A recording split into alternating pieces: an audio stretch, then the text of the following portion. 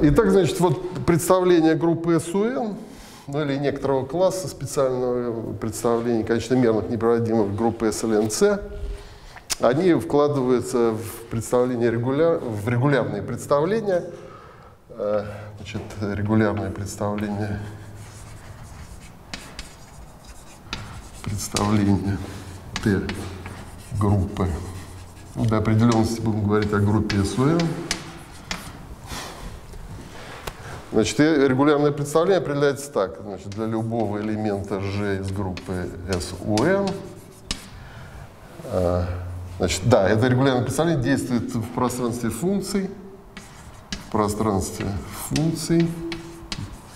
Для определенности будем говорить про гладкие функции на группе фи, на группе SUN. Значит, ну и определяется так, то есть представление t от g это некий линейный оператор, который действует в пространстве функции φ. Значит, функции, функции φ, они отображают группу g в, в комплексные числа. То есть вот, значит, есть линейный оператор, который сопоставляется каждому элементу группы SUN. Он действует на функцию, зависящую от элемента h группы G, то есть H тоже является элементом группы SUN. Вот. И результат действия такой. Это есть новая функция, вот мы его так записали, которая есть значит, H умножить на G. То, что называется правое регулярное представление. То есть аргумент функции φ h значит, сдвигается справа элементом группы СНЖ. Значит, легко проверить, что вот это отображение Т из группы СОН в множество линейных операторов, оно является гомоморфизмом, то есть это действительно представление. Вот. Значит, для того, чтобы выделить из этого, да, ну, так сказать, в того, что группа СОН компактная, то все неприводимые конечномерные представления по теореме, которую мы доказывали, когда обсуждали элементы теории характеров для компактных конечных групп. Значит, э, мы тогда доказали, что все конечномерные неприводимые представления компактных групп, они э, вложены в, в регулярное представление. Ну и вот, чтобы выделить эти, эти представления из регулярного представления, давайте рассмотрим специальный, специальный подкласс функций. Значит, специальный подкласс функций специальный подкласс f. А, значит, пространство функции будем обозначать буквой f. Вот, э, которые есть полиномы. Полиномы. Полиномы от h.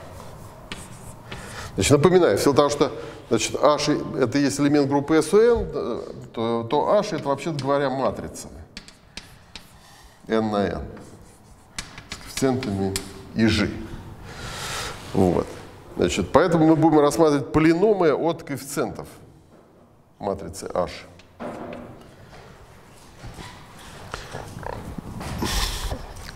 Вот.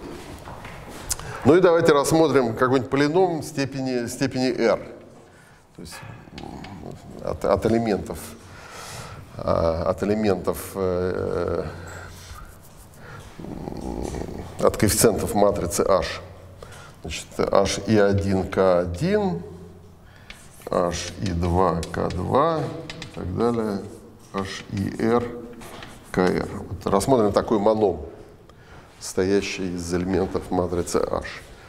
Вот. Тогда в соответствии вот с этим преобразованием общим, как, как действует регулярное представление на произвольную функцию φ, значит, у нас значит, вот этот моном преобразуется следующим образом. Значит, он перейдет, он перейдет при таком преобразовании, он перейдет вот в такой моном. Значит, И1, L, L1, H, I2, L2, H, I, R, L, R. Здесь будет стоять вот эти самые матрицы, э, матрицы преобразований. Э, вот видите, что, что элемент H, он подворачивается элементом G справа. Поэтому все вот эти коэффициенты, они будут подвернуты элементом G э, справа. L1, напишу так, L1, э, K1. То есть эта матрица подвернет вот этот элемент справа. Потом матрица G подвернет вот этот элемент справа, L2, K2 и так далее. Значит, ну и последний элемент подвернется вот так. KR. Значит, ну вот э, теперь видно, что э, на самом деле, значит, э, если у меня есть полином, значит, построенный как линейная комбинация вот таких мономов, то понятно, что э, в силу вот такого преобразования этого манома, видите, маном степени r, он переходит в некую линейную комбинацию мономов степени r. Поэтому, так сказать, э, э, если у меня есть полином, состоящий из линейной комбинации таких мономов э, разной степени, то понятно, что этот полином развалится на инвариантные подпространства полиномов, имеющих одну и ту же степень однородности. Потому что преобразование не меняет степень однородности полинома.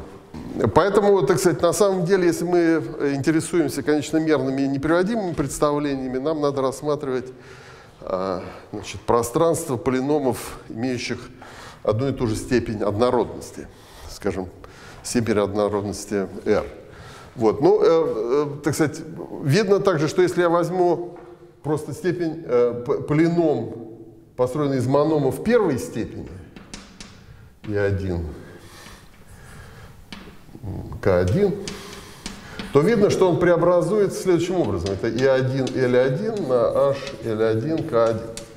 То есть на самом деле э, значит, вот регулярное представление действует на, э, на э, полиномах, на, на мономах, ну или на полиномах первой степени, как на пространстве определяющих представления. Потому что, напомню, значит, определяющее представление группы СУН, оно действует в пространстве, действует в пространстве размерности n, которое есть не что иное, как, как просто C, комплексное пространство размерности n.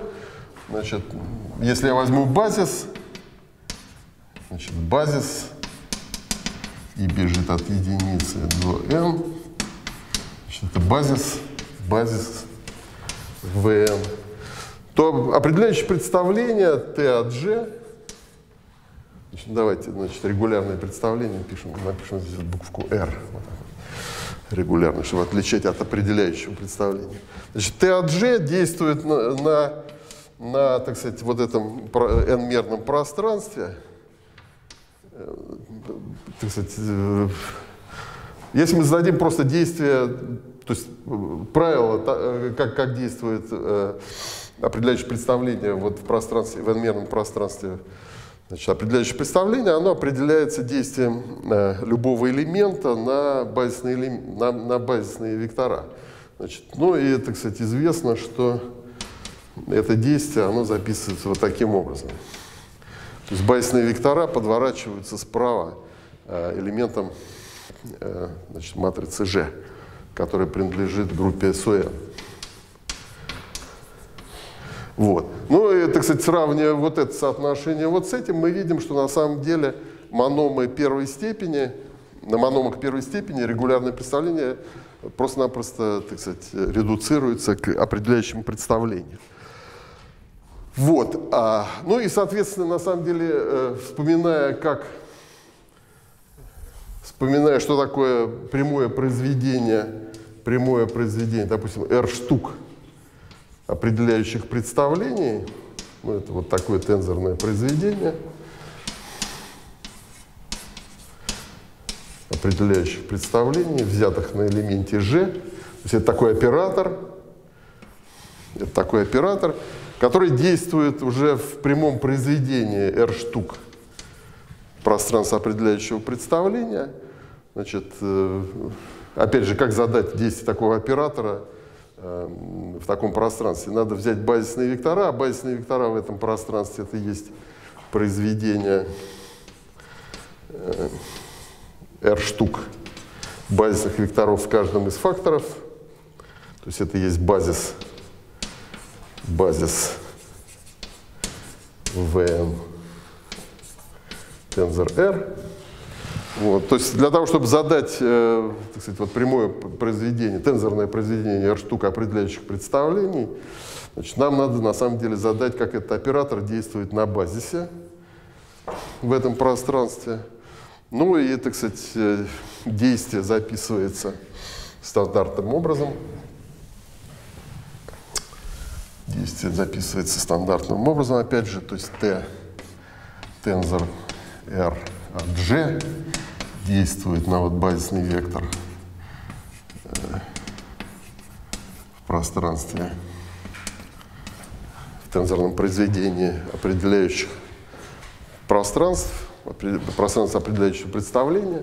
Сейчас записывается так, это t, э, значит, L1.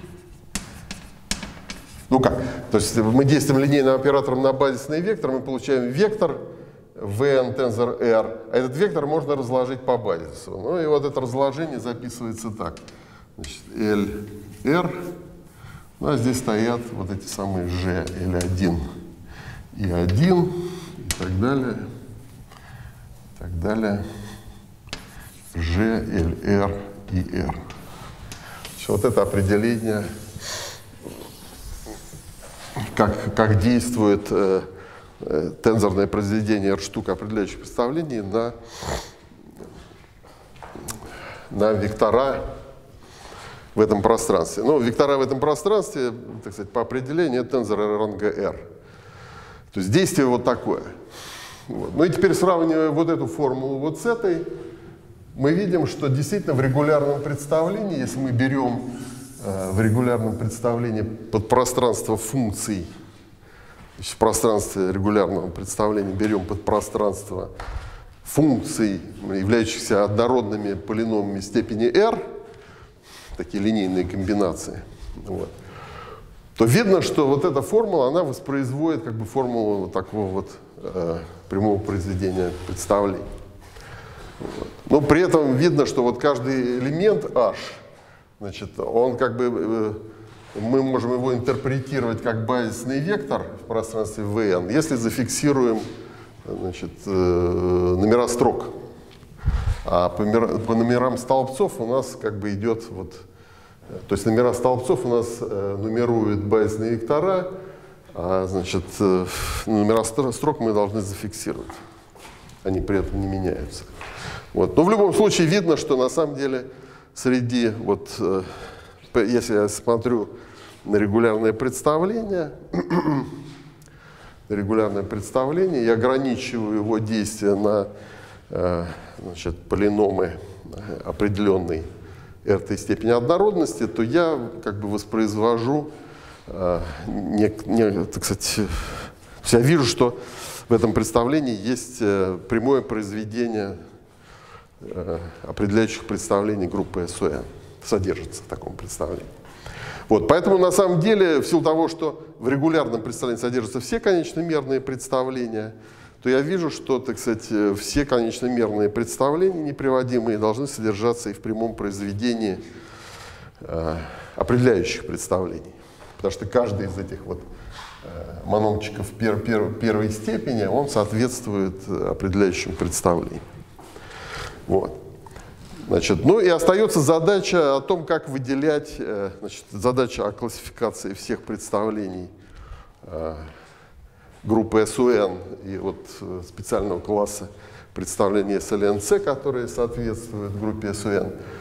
Они, значит, сводятся к тому, что надо рассматривать э, задачу о том, как выделять неприводимые представления из прямого произведения определяющих.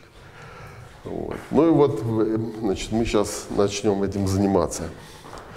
Э, значит, для того, чтобы э, значит, понять, что, что, же, что же надо делать, значит, надо прежде всего понять, почему, собственно говоря, ну, определяющее представление является неприводимым, надо понять, почему прямое произведение определяющего представления является приводимым. Вот. Для того, чтобы это понять, почему такое представление является приводимым, давайте, э, давайте э, определим действие, определим действие, ну не определим, а давайте э, отметим, подчеркнем то, что в пространстве, в пространстве э, произведения R штук определяющих представлений действует не только группа SOM, согласно этой формуле, но действует еще и группа перестановок SR, о которой мы говорили в первой сегодняшней лекции. Значит, как она действует? То есть, если у меня есть элемент сигма из группы SR, то я могу задать действие э, значит, элемента сигма на произвольный элемент, произвольный тензор. Ну, давайте для начала возьмем просто произведение, прямое тензорное произведение R штук векторов. Есть элемент R. Вот. И давайте определим, как действует сигма на вот такое прямое произведение векторов. Значит, э, ну, в силу того, что, так сказать, я э, смотрю некое специальное представление, как действуют элементы группы перестановок, вот, так сказать, некое представление вот в таком пространстве, я, значит, это представление буду обозначать буковкой S. То есть вот действие элемента сигма в представлении S так сказать, это представление определено вот в таком пространстве. В тензорном произведении R штук э, определяющих, э, пространство определяющего представления. Итак, значит, определение этого действия групп перестановок в этом пространстве задается действием значит, некоторой произвольной перестановки, дайте, пусть это произвольная перестановка, на вот это произведение векторов.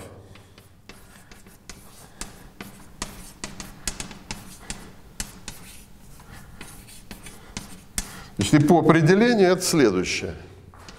Значит, надо просто переставить эти вектора. Но переставить хитрым образом. Надо применить, значит, вот сигма – это перестановка из SR. Значит, как я вам только что рассказывал, сигма можно представить в виде значит, вот таких, такой двухстрочной таблицы, где сверху стоят числа 1, 2, 3 и так далее, R, а снизу результаты их перестановки. Сигма 1, сигма 2, сигма 3 и так далее, сигма R. Так вот, когда значит, группа перестановок действует на прямое произведение R штук векторов тензорных, то она их переставляет. Но переставляет э, в соответствии с этой перестановкой следующим образом. Она на первое место ставит э, вектор с номером сигма минус 1. 1. То есть среди вот этих номеров я нахожу номер, соответствующий обратной перестановке сигма, и ставлю его на первое место. Значит, на второе место ставится результат перестановки сигма минус первое от двух и так далее. В сигма минус первое от r. Значит, вот такое хитрое применение перестановки сигма, когда результат на самом деле перестановки зависит не от сигма, а от сигма минус первой, э, значит, мотивируется следующим – Значит, в силу того, что это, я хочу, чтобы это было представление, я хочу, чтобы S был гомоморфизмом. То есть S от сигма мю должно равняться S от сигма на S от мю. Вот. Ну и давайте проверим, что на самом деле э, гомоморфизм согласуется именно с тем, что я сюда поставлю сигма минус 1, а не сигма. То есть мне надо доказать, что э, значит, э, Левая часть этого равенства действует на вот такое произведение векторов точно так же, как и правая часть этого равенства. Ну, давайте подействуем правой частью этого равенства на произвольное произведение векторов. Значит, S сигма, S мю действует на V1, V2, так далее, VR. Значит, ну вот давайте, смотрите, вот э, пусть у меня S μ подействует на V1, V2 и VR, он его как-то переставит, так?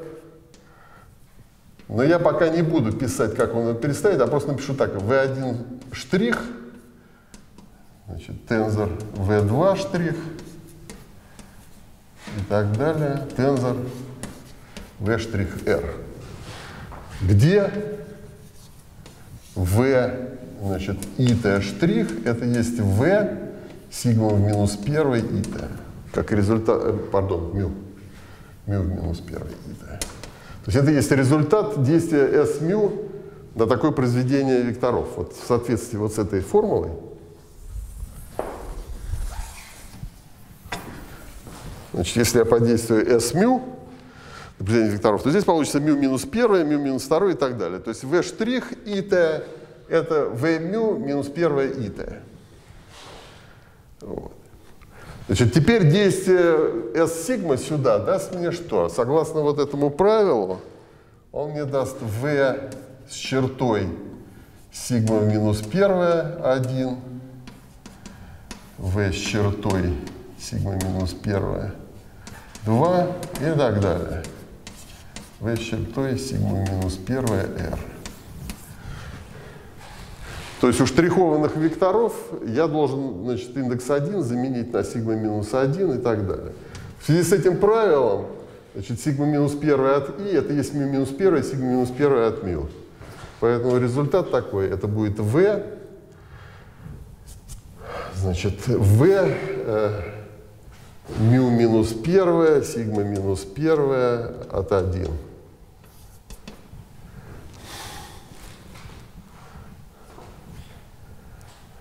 Значит, v мю минус первое, сигма минус первое, 2. И так далее. v мю минус первое, сигма минус первое, r.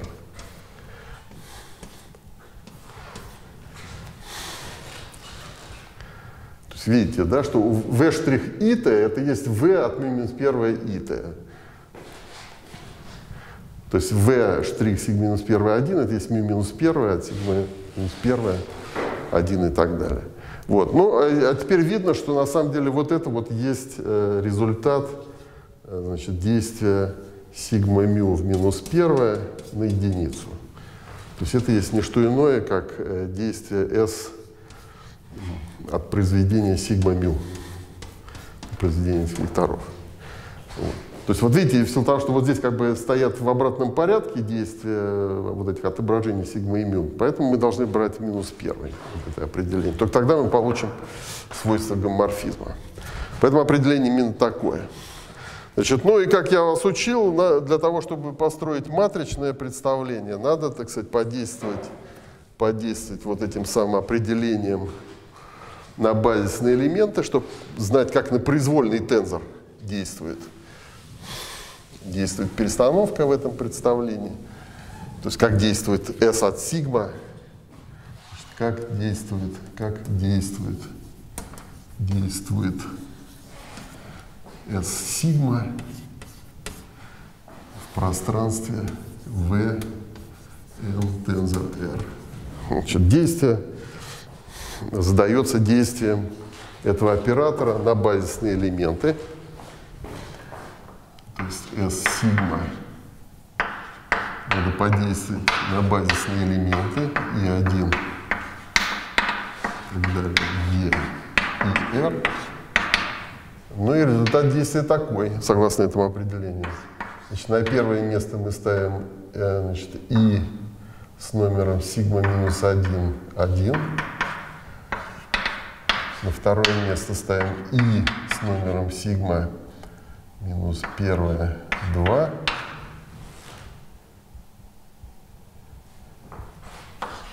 И так далее. И на последнее место ставим Е и с номером сигма минус первое R.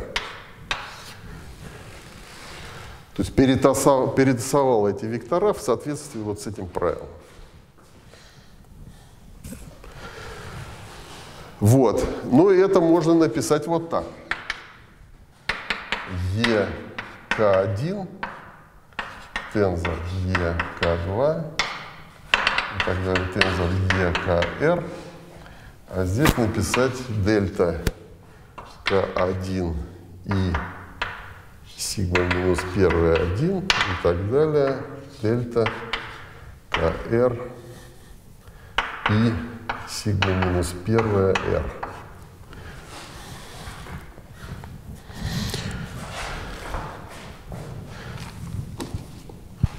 Вот.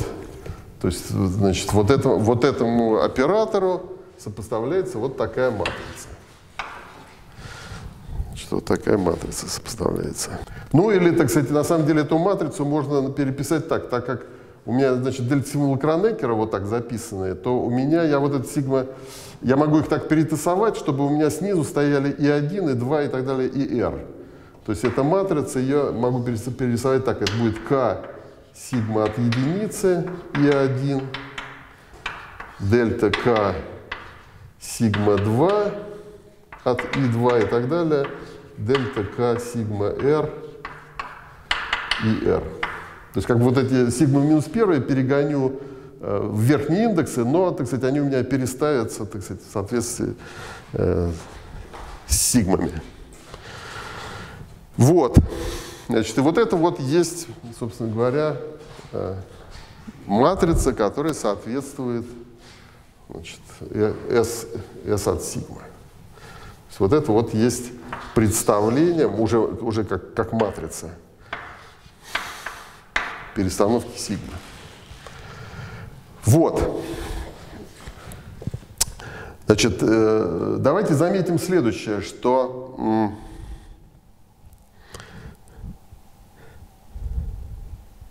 ну, во-первых, так сказать, во-первых, если я теперь э, возьму и подействую э, вот этим оператором на произвольный тензор psi и 1 и так далее, и r, то есть вот пси это будут компоненты тензора.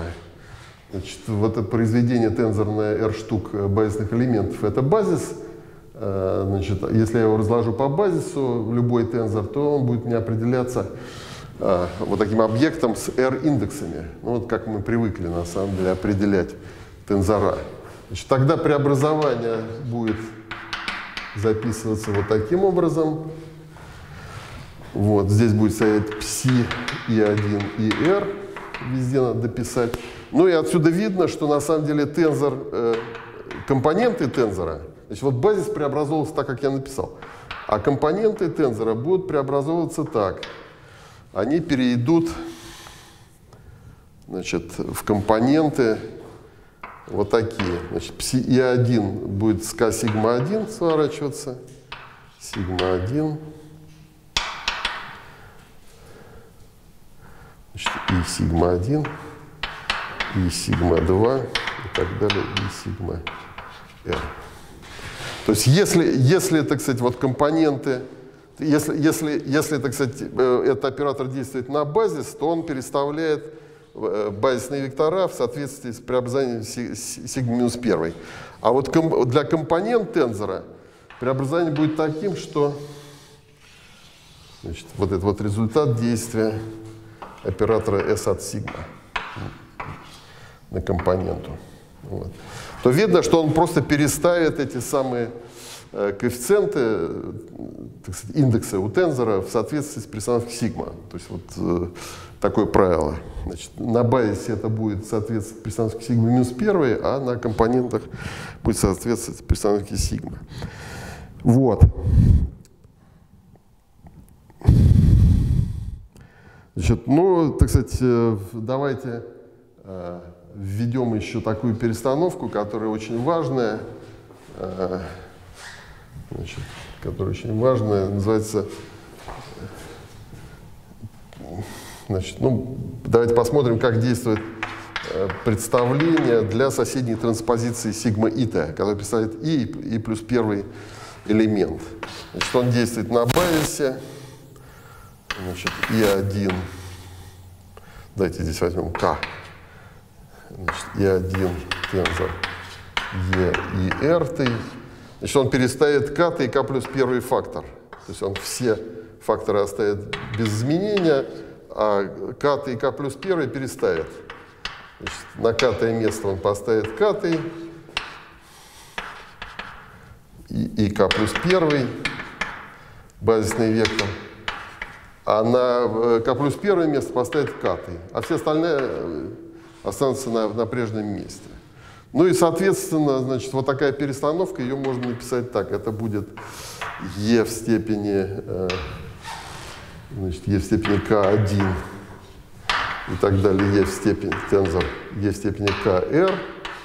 Значит, а здесь будет стоять дельта k1 и 1. Значит, и1 не трогается, потом дельта k2 и 2 тоже не трогается. А вот здесь произойдет перестановка, то есть дельта э, k плохо индексы. Давайте L тут напишем. L1, LR, L1, L2. Значит, L катый, он станет и К плюс первым. А LK плюс первый станет и катом. Ну а дальше останутся те же самые дельта LR и R.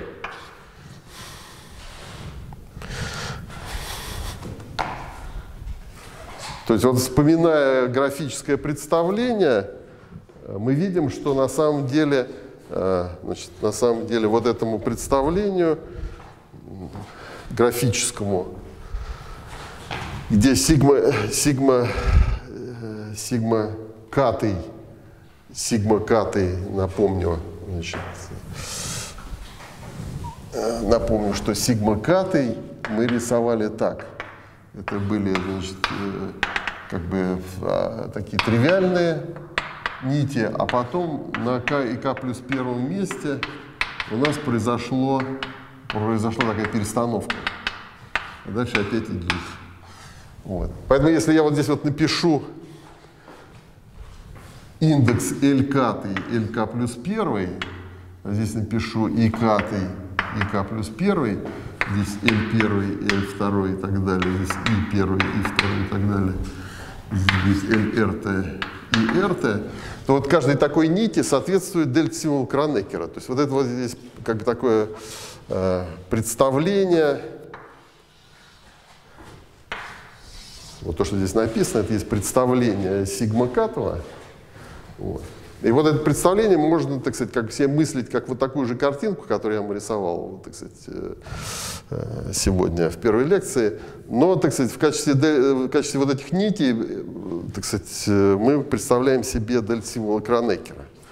Ну и, так сказать, здесь дельта-символа Кранекера, они как бы номера не меняют, а вот, так сказать, на катом и К плюс первом месте у нас номера начинают вот так вот перекрещиваться. То есть у нас возникает дельтивный кранекра э, с номерами, э, с индексом LK и К плюс первым, и с, номерами дельтивного кранекера LK плюс первый с и катом. Буквально то, что здесь нарисовано. Вот. То есть вот это вот есть представление, представление для S от сигма К. Если каждую такую палочку мы воспринимаем как э, дельта символ Кранекера. Вот. Значит, теперь давайте определим, да, итак, значит, кроме того, что у нас э, в пространстве VNR, VN, тензор R, действует э, тензорное произведение определяющих представлений, R штук, мы видим, что в этом пространстве мы можем определить еще действие группы SR. То есть мы получили замечательную вещь, что э, значит, э, в, вот в этом пространстве V тензор R действует, во-первых, группа, группа SUN действует вот таким образом, как тензорное произведение определяющих представлений. И во-вторых, действует, действует группы СР. Значит, действует она согласно вот этой формуле.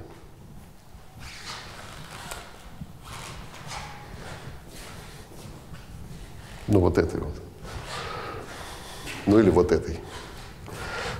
Или вот этой.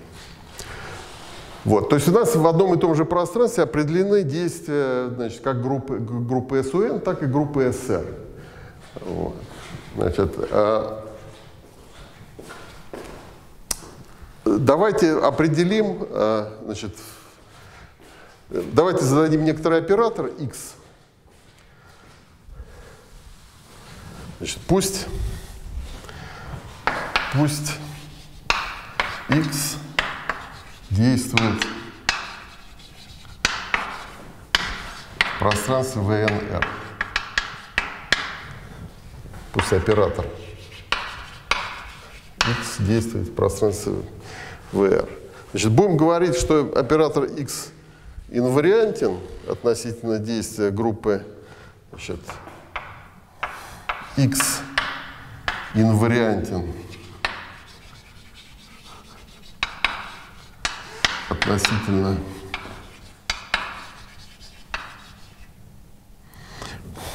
SUN преобразований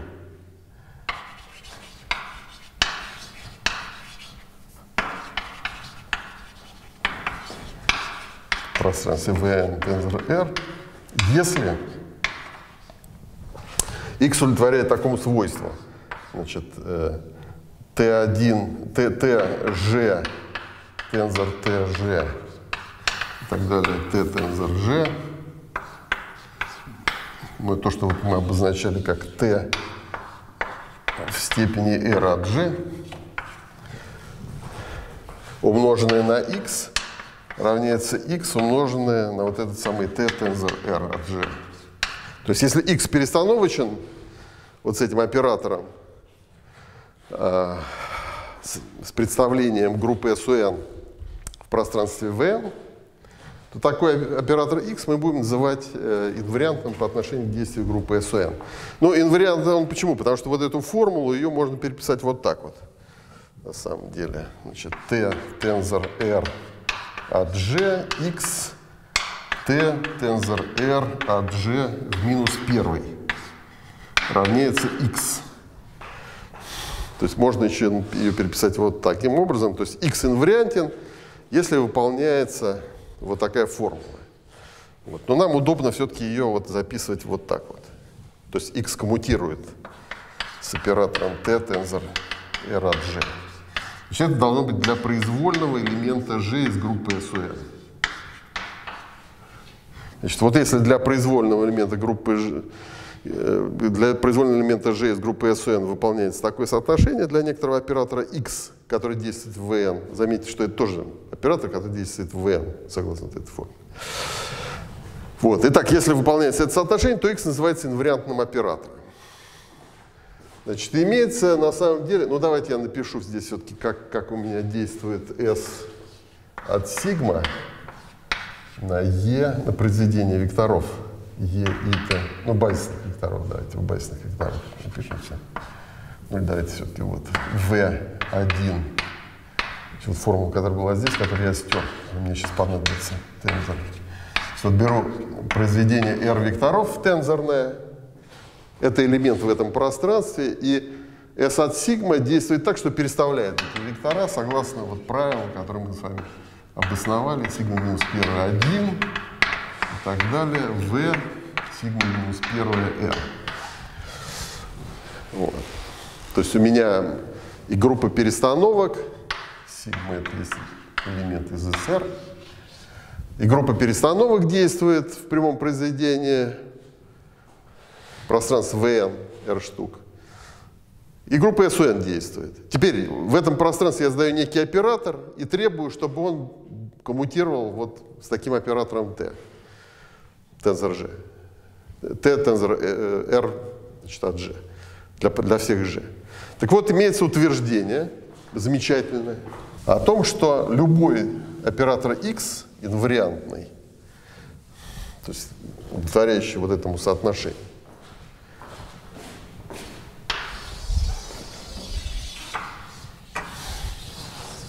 действующее вот в этом пространстве,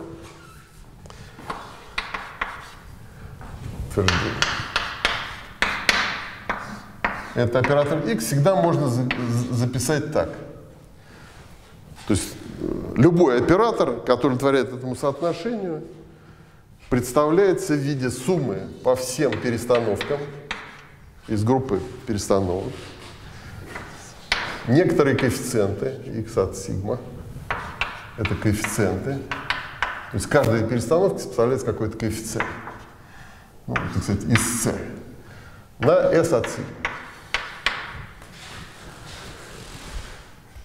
То есть оказывается, что вот все вот эти операторы, которые занимаются тем, что они переставляют значит, факторы в тензорном произведении, то есть являются как бы представлениями групп перестановок, их линейная комбинация таких операторов – это есть самый общий вид оператора x, который является SUN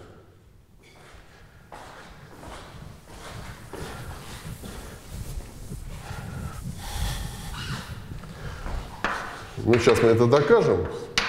Вот. Но для, так сказать, начала я хочу просто сказать, какое следствие из, это, из этого утверждения вытекает. В силу того, что вот этот оператор является нетривиальным, то есть он не единичный, видно просто по построению, он не единичный. Вот. Это говорит о том, что представление, тензорное произведение R штук определяющих представлений является в силу того, что оно коммутирует это представление с некоторым нетривиальным оператором, то по леме Шура, значит, в силу того, что это представление комплексное, по леме Шура следует, что это представление должно быть приводимым. Потому что, э, если, так сказать, вы помните, по леме Шура с неприводимым представлением может коммутировать только оператор пропорционально единичному. Значит, если у нас существует оператор x не, не пропорционально единичный, который коммутирует, со всеми матрицами представления, то значит это представление должно быть приводимо. Поэтому, так сказать, вот это утверждение сразу же говорит нам о том, что прямое произведение э, должно быть приводимым. Прямое тензорное произведение, что определяющее представление должно быть приводимым представлением. Значит, это первый факт. А второй факт заключается в том, раз любой такой оператор, который коммутирует, представляется вот в таком виде, то теперь, значит, э, если я теперь выделю среди таких операторов операторы, э, которые осуществляют проекции на такие как бы минимальные подпространства здесь, то есть я построю из этих операторов некие проекторы, которые будут проектировать на какие-то подпространства, то все эти подпространства будут в силу вот этого условия, значит, если x-проектор, и он выделяет что-то пространстве Vn, вот, то все эти проекторы будут выделять на самом деле инвариантные подпространства. Но об этом я чуть-чуть позже поподробнее скажу. Итак, давайте докажем вот это утверждение, что любой инвариантный оператор, вот такой, он представляется в виде такой суммы. Значит, ну давайте для начала возьмем, э, да, ну, так сказать, то, что, то, что, значит, давайте так, значит, первое, значит, э, Пусть мне задан такой оператор x вот в таком виде. Давайте докажем, что он обладает таким свойством. Как бы достаточность. Итак, значит, мне, мне задан, задан э, э, то есть для того, чтобы x, x э, коммутировал э, с t тензор g, достаточно, чтобы он был в такой форме. Значит, для, для этого достаточно доказать, что на самом деле коммутирует с, с любым элементом этого представления, значит, лю, любой, любой член в этой сумме.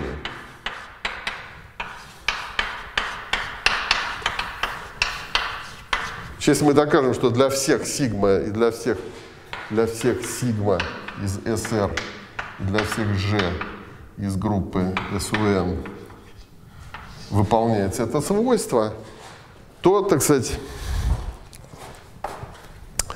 значит, я докажу, что, так сказать, любой оператор такого типа, он коммутирует. Э, коммутирует с T-тензор RAG. Значит, э, значит, ну как это доказать? Значит, это доказать очень просто. Значит, э, давайте возьмем, возьмем любое прямое произведение операторов – которые действуют в этом пространстве. То есть оператор А1 – это оператор, который действует в первом факторе, оператор А2 действует во втором факторе здесь, ну и так далее. Значит, и давайте посмотрим, значит, куда он переведет э, произвольное произведение векторов. То есть я умножу такой оператор справа на s от сигма и посмотрю, куда он перейдет произвольный вектор. Значит, ну, понятно. Значит, это будет А1 на V сигма в минус первый 1, тензор А2 на V сигма в минус первый 2, тензор и так далее. АР V от сигма в минус первый R. То есть э, вектор, вектор с номером сигма минус 1, 1 подвертится элементом А1, вектор V с индексом сигма минус 1, 2 подвертится оператором А2 и так далее. А теперь давайте посмотрим, в чего у меня перейдет вот такой вот оператор. S от сигма, А сигма 1, тензор а сигма 2 тензор, так далее, А сигма R.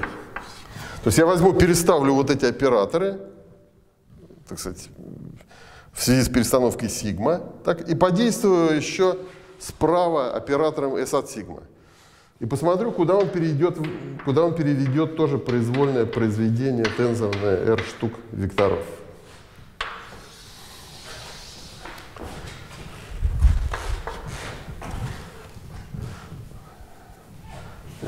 Ну, давайте это самое место тут мало. Значит, давайте вот здесь вот напишем результат действия.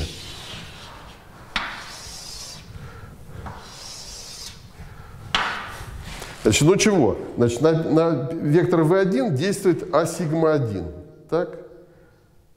Правильно? А потом я должен применить э, э перестановку S сигма 1. А он к номеру 1, так сказать, его переводит, так сказать, вот по этому правилу в номер сигма минус 1.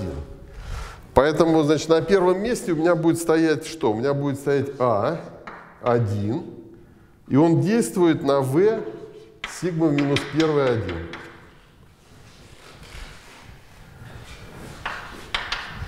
Значит, на второе. Значит, у меня А сигма сюда ставит, э, ставит двойку, правильно? А сюда ставит сигма минус 1 2. А 2 В сигма минус 1 2. Ну и так далее. Теперь сравнивая то, что я получил для вот этого оператора, вот это, да, результат действия вот этого оператора на произвольное. И результат действия вот этого оператора на произвольный вектор, я вижу, что это одно и то же. То есть на самом деле у меня возникает такое правило, значит, э, как, как действует у меня, как действует у меня э, вот это S от сигма, есть вот этот оператор, вот этот оператор действует на пряму, прямое тензорное произведение R штук операторов. Значит, он просто переставляет эти операторы в соответствии с перестановкой сигма, а сигма R. То есть он просто их переставляет и все, больше ничего не делает. Ну и протаскивается. То есть результат протаскивания S от сигмы через вот это вот э, тензорное произведение операторов сводится к перестановке этих операторов, и S от сигмы пишется слева. Вот. Поэтому если я в качестве вот этого оператора возьму T от G, тензор, тензор T от G, то после любой перестановки здесь у меня опять возникнет здесь T, T от G, T от G, потому что все факторы здесь совпадают. А1 равняется А2, равняется АР, равняется ТЖ. Поэтому, когда я действую S от сигма, он мне просто их переставит ТЖ. Другими словами, он их просто не поменяет. Поэтому вот это вот свойство, оно достаточно очевидно. А раз, если выполняется вот это свойство, то значит произвольный оператор, произвольная линейная комбинация таких операторов тоже будет удовлетворять условия инвариантности. То есть вот в одну сторону доказать, что так сказать, такой оператор является инвариантным, так сказать, это легко. То есть если у меня оператор такой, то он инвариантен. Вот э, доказать как бы необходимость э, здесь достаточно сложно. То есть э, надо доказать, что любой оператор x, который в таком свойстве представляется вот в таком виде. Вот давайте это докажем. И после этого прервемся ну, чуть-чуть. Значит, теперь давайте докажем, что любой оператор, который является инвариантом, есть линейная комбинация некоторых представлений элементов группы Перестанова. Вот. Ну, давайте запишем это условие для случая, когда G э, диагональная. Матрица.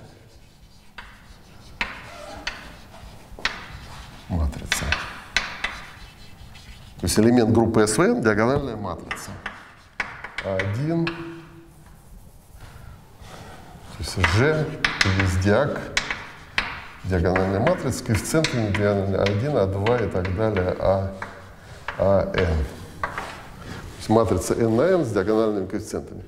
Ну, гру, элемент группы SUN, это говорит о том, что, конечно, значит, на диагональные элементы есть одно условие, детерминант равняется единице, но на самом деле мы можем ослабить это условие и считать, что вот все вот эти а являются произвольными комплексными числами.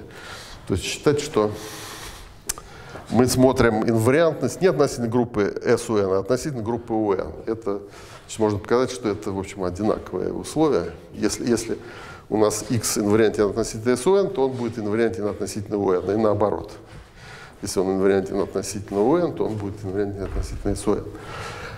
Вот, значит, поэтому давайте подставим в эту формулу, подставим вместо T от G, T от G, подставим диагональные матрицы. Сюда это условие будет выглядеть как? Значит, у нас э, значит, G и 1, К1, G и R, КР на X, К1, КР, L1, LR. Это я вот написал левую часть. То есть вот R штук определяющих представлений э, значит, от элемента G. Это вот такое прямое произведение матриц G. Значит, оператор X, который действует в, в прямом произведении R штук определяющих представлений, это вот такой тензор с, с таким, с, с 2R индексами, где есть R входящих индексов, R исходящих. Он как бы э, значит, э, сворачивает э, тензор R-того ранга по L и снова делает тензор R-того ранга. Вот. Значит, я написал левую часть, а правая часть будет записываться так. Это будет И1, ИР, К1, КР, ЖК1, Л1, Ж, КР, ЛР. Это я написал левую часть, то есть правую часть. То есть это левая часть, а правая часть записывается вот так. И пусть теперь у меня есть, э, пусть у меня G это диагональная матрица, то есть G и К это есть дельта ИК на АК. Поэтому то, что здесь нарисовано, я могу написать так. Это есть АК, это есть А и 1, А и 2 и так далее, А и Р. Это я подставил вместо G вот это вот дельта символ Кранекер на АК. Значит, X И1, И, К, Р, L1, LR это есть значит, x и 1 и k, сейчас и r стоит, и r, и r, kr. Значит, x и 1 и r. А, здесь дель символ Кранекера подставит L1, LR, и будут стоять A, L1, AL2 и так далее, ALR. То есть это условие, его можно переписать так. Значит, вот А минус минус AL1, AL2 и так далее, ALR умножить на x. Давайте вот так, перенесу я правую часть влево. У меня будет стоять вот такая разность. L1, AL2 и так далее, ALR умножить на x равняется нулю. То есть вот это условие, если же диагональное, переписывается вот так. Вот. А это условие говорит следующее, что у нас на самом деле э, значит, э, в x можно, можно реализовать э, в виде вот, то есть частное решение, частное решение. Значит, что? Вот в силу того, что здесь как бы А произвольные, да, и в силу того, что значит, это, это идет, тут, тут, кстати, суммы нету. Просто, просто умножено. Видно, что э, этот x, частное решение для этого x и 1, в силу того, что а произвольные и суммирования нету. Ну, например, как можно получить частное решение? Можно взять и r раз продифференцировать по а. Вот. И результат дифференцирования мне просто выдаст вот такой вот ответ, что это есть Э, значит, некоторый коэффициент x, зависящий от i1 и r, и будет стоять такие дель-символы Кронекера. i1 L сигма 1 и 2 L сигма 2 и так далее, дельта и R L сигма R. То есть вот для любой перестановки сигма Значит, вот это будет частным решением вот этого уравнения. Значит, это можно просто получить, дифференцируя по А с некими фиксированными номерами.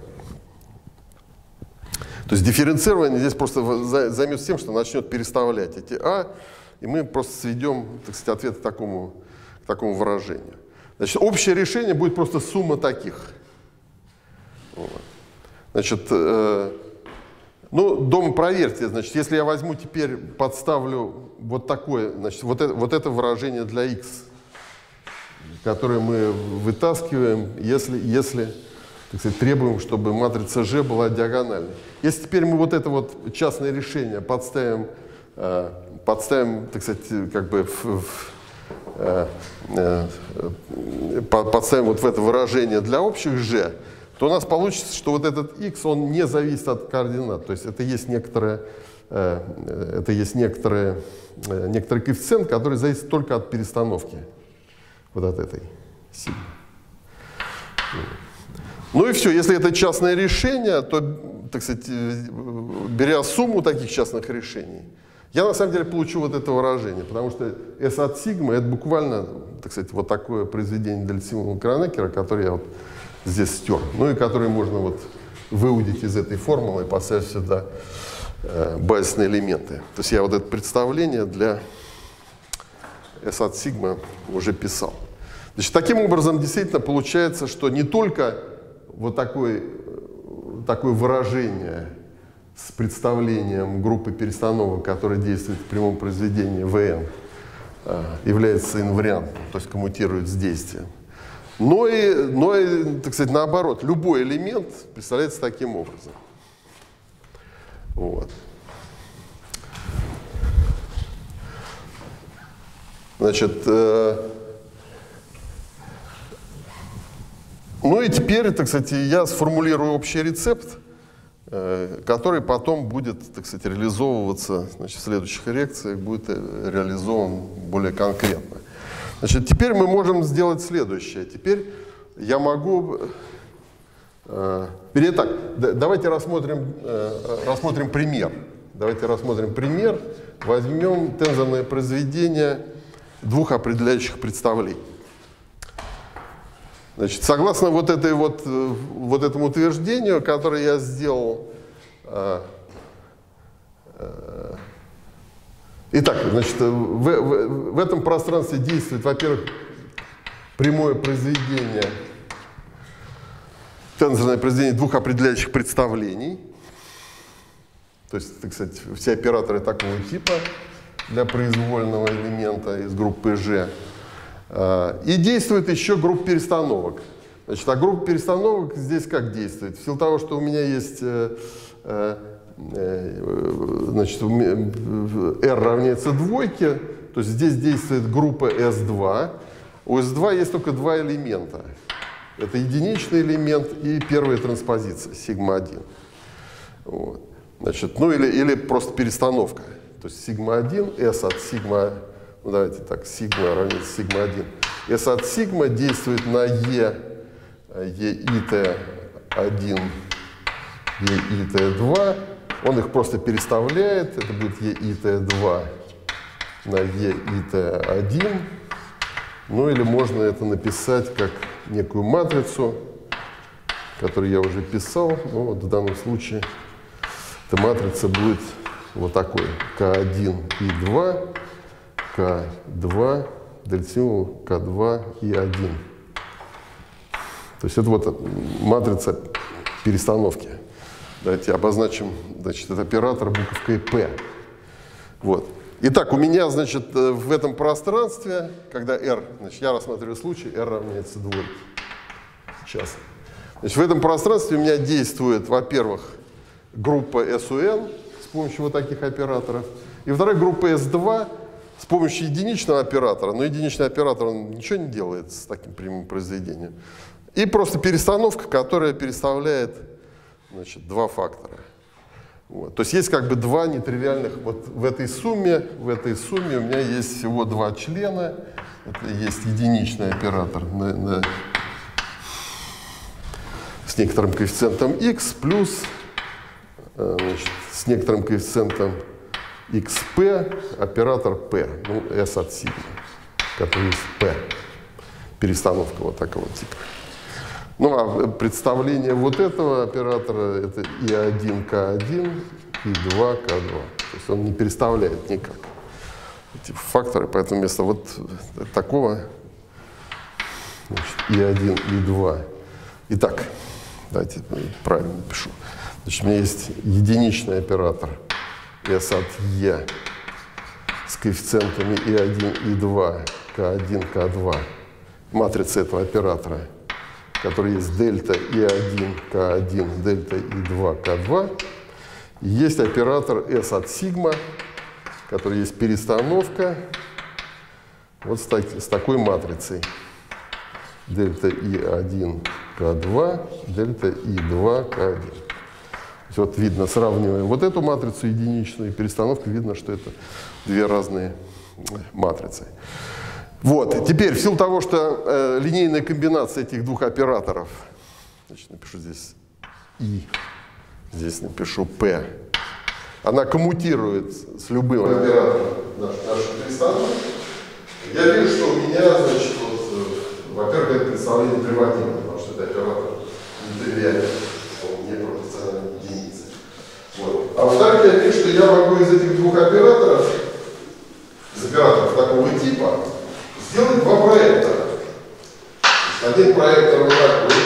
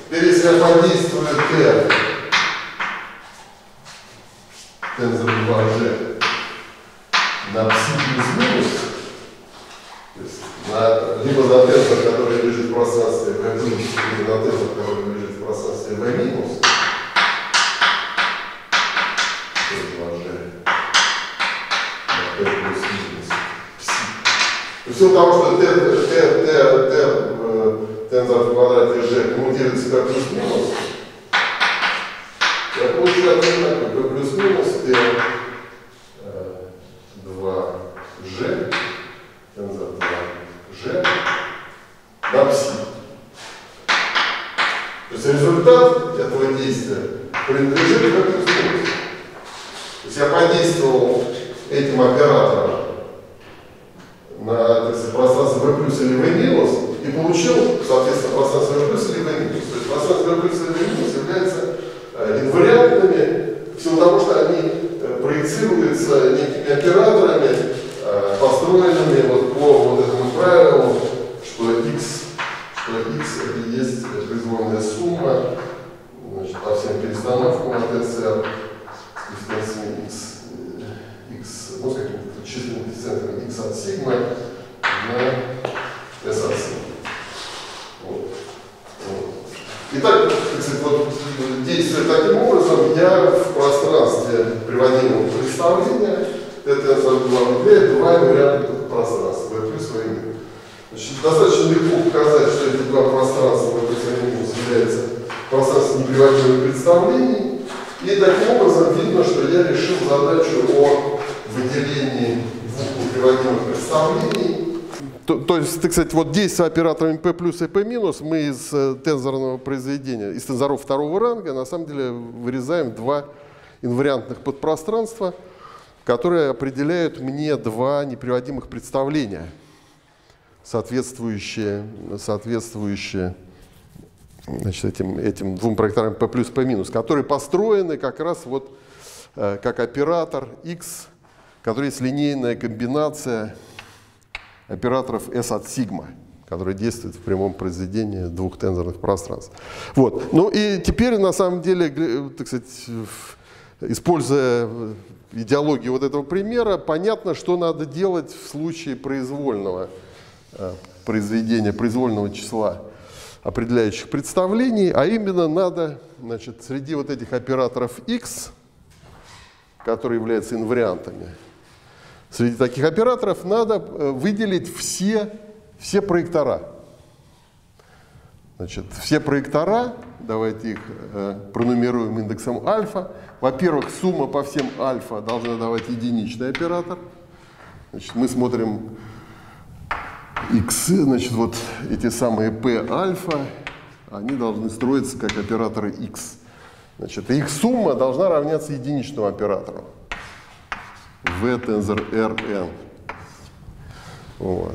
Значит, это дает мне, так сказать, э, э, убеждение в том, что, так сказать, соответствующие проектора P альфа, значит, а проектор это что? Проектор это P альфа в квадрате должно равняться P альфа. Вот это определение проектора. Значит, как нетрудно проверить, вот эти P плюс и P минус, они удовлетворяют таким условием P плюс минус в квадрате равняется P плюс минус. Ну и, так сказать, они ортогональны друг другу, а именно P плюс на P минус равняется нулю. То есть на самом деле значит, мы должны выделить такую, то, что называется ортогональную, взаимно-ортогональную систему проекторов, а именно P альфа умножить на P бета. Это должно быть 0, если альфа не равняется бета, то есть оно должно быть пропорционально дельтасиму Кронекера. И если альфа равняется бета, то P альфа в квадрате должна равняться P альфа. Вот. Итак, мы должны выделить всю полную систему проекторов, то есть сумма по всем проекторам должна давать единица. Это значит, что мы все это пространство Vn полностью разлагаем на вот пространство V альфа, которое есть результат действия P альфа на V тензор n, тензор Rn. Вот. То есть если есть такая, такая, такое условие полноты, значит мы разбиваем все наше пространство Vn тензор R на сумму пространств V альфа. Вот. То есть из этого из этого соотношения следует, что Vn тензор R это есть сумма по альфа в альфа. Вот. Во-первых. Во-вторых, значит, э, каждый, каждый такой проектор проецирует на инвариантное пространство в силу того, что есть аналог вот этого соотношения, а именно, что P альфа, так как P альфа строится как оператор X, то, соответственно, есть правило коммутирования. А отсюда следует вот абсолютно то же самое рассуждение, как в случае r равняется двойке. Э, отсюда сразу следует, что на самом деле все такие пространства v альфа, на которые разбивается, в сумму которых разбивается vn от r, они все являются инвариантными. Вот.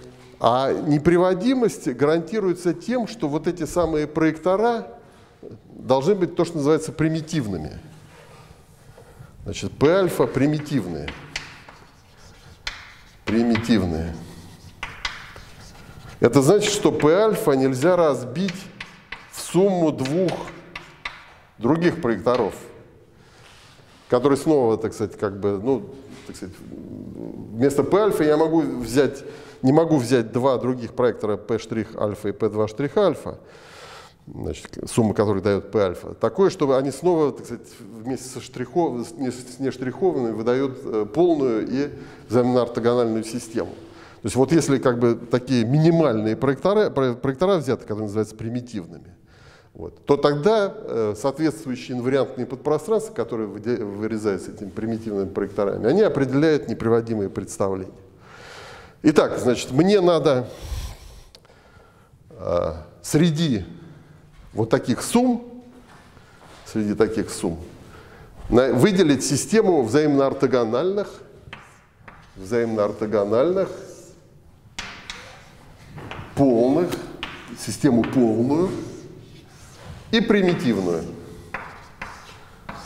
Проекторов, после чего я решаю задачу о выделении всех неприводимых конечномерных представлений в тензорном произведении R штук определяющих представлений. То есть в каком смысле решаю задачу о классификации всех конечномерных неприводимых представлений группы SUN, ну или группы SLNC, которые значит, определенного класса, которые вкладываются в прямое произведение определяющих представлений. Такой класс представлений, который находится во взаимно однозначном соответствии с представлением группы, группы SUN. Вот. А, и вот эта задача, она на самом деле имеет э, непосредственное отношение к задаче о представлении групп перестановок. Почему? Потому что вот этот оператор, который написан здесь, его можно переписать вот так. x равняется представление s отображения от вот такой суммы. X сигма сигма, где сигма принадлежит группе перестановок. То есть если я, так сказать, буду считать, что вот это отображение S, оно обладает свойством линейности, то есть оно, так сказать, э, линейно э, расширяется на вот все такие линейные суммы элементов групп перестановок, а эти элементы, это есть элементы, как, как мы знаем, это есть элементы, элементы э, групповой алгебры. Групповой алгебры. Обозначается так, C, S от R. То есть элементы групповой алгебры, группы перестановок. Групповая алгебра, напоминаю, это все линейные комбинации э, элементов группы. То есть если, если в группе вы можете, так сказать, брать произведение элементов, то если вы построите такой объект, который, так сказать, в котором допускается сумма всех элементов группы, э, значит, эти элементы группы, э, как бы линейную оболочку такую натягиваете на элементы группы. И элементы группы значит, в этом объекте рассматриваются как, как базис в неком линейном пространстве, то то, что получается, это называется групповая алгебра. Об этом, так сказать, шла речь в одной из предыдущих лекций.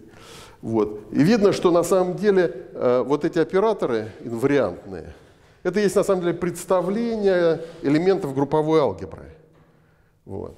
Значит, и представление, если я хочу смотреть на проектора, то это есть представление неких элементов Е-альфа из групповой алгебры. Значит, Е-альфа. Итак, проектор. У нас проектора P-альфа получается как результат представления элементов Е-альфа, где Е-альфа это есть элемент групповой алгебры, группы перестановок. Кстати, э, расширив S, значит, вот гомоморфизм S до линейного гомоморфизма, когда я S могу вытащить за эту сумму, так сказать. Вот. Значит, то есть задача сводится к тому, что надо построить элементы уже в групповой алгебре группы перестановок, так, не среди операторов, которые действуют в VTZRN, а просто вообще в группе перестановок я рассматриваю групповую алгебру, то есть могу складывать элементы группы. И вот там я должен найти такие операторы, которые, во-первых, должны образовывать систему вот таких операторов. А это называется идемпотенты. Идемпотенты в алгебре. Значит, элементы, которые обладают таким свойством, вот сравните это со свойством взаимной ортогональности. Вот. Значит, далее, эти элементы должны удовлетворять условию полноты. Е альфа равняется Е. То есть э, сумма всех таких элементов должна выдавать, выдавать единичный элемент в групповой алгебре группы перестановок, ну или в группе соответственно. Ну и последнее, то, что Е-альфа должны быть примитивными. Примитивные. То есть Е-альфа нельзя разбить в сумму Е-альфа штрих, Е-альфа э, два штриха. Значит, э, то есть в сумму других двух взаимно-ортогональных и э, взаимно-ортогональных проекторов. Значит, если я решу вот эту задачу, вот заметьте, что эта задача уже касается только группы перестановок. Я уже забыл про то, что значит, э, она проистекла из задачи нахождения проекторов вот в этом пространстве. Так вот, если я решу вот эту задачу, то я, так сказать, одновременно решу и, и задачу о выделении э, представлений, э, представлений группы э, вот в таком тензорном произведении векторных пространств. Вот. Но э, с другой стороны, выделение таких, э, таких элементов, которые называются идемпотентами, значит, в групповой алгебре группы перестановок, она еще решает и задачу построения неприводимых представлений в группе перестановок. То есть э, на самом деле каждый такой элемент, он, так сказать, если, если я буду смотреть левое регулярное представление на таком элементе значит, группы перестановок, то каждый такой элемент, он как бы генерирует неприводимое представление группы перестановок. И в этом смысле, значит, в силу того, что представление идемпотента дает проектор, который выделяет неприводимые представления группы SUN в этом пространстве, с одной стороны, а с другой стороны этот идемпотент связан с неким неприводимым представлением группы перестановок, у нас получается такая дуальность между неприводимыми представлениями э, групп, группы перестановок и неприводимым представлением группы СУН. То есть на самом деле имеется такое соответствие.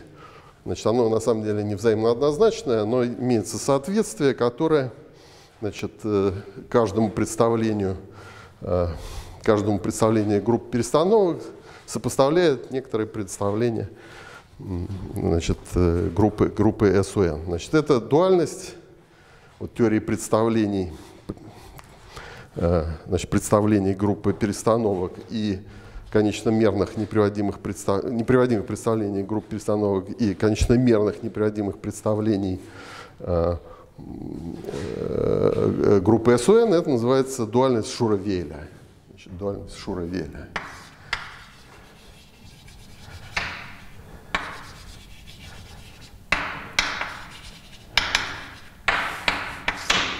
Вот. Ну и вот, так сказать, мы в следующих лекциях будем заниматься таким конкретным построением, реализацией вот этой программы, которая вот здесь вот э, была намечена, а именно мы э, начнем строить э, явный вид вот этих идипатентов для группы, для группы персонал КСР. То есть, еще раз, имеется дуальность между представлением группы СР и представлениями, между неприводимым представлением группы СР и неприводимыми представлениями группы СУН, которые действуют в, простр в пространстве VN тензор R. То есть вот здесь э, вот это R значит, совпадает э, с, с той группой, с, тем номером группы персоновок, которая, которая будет изучаться.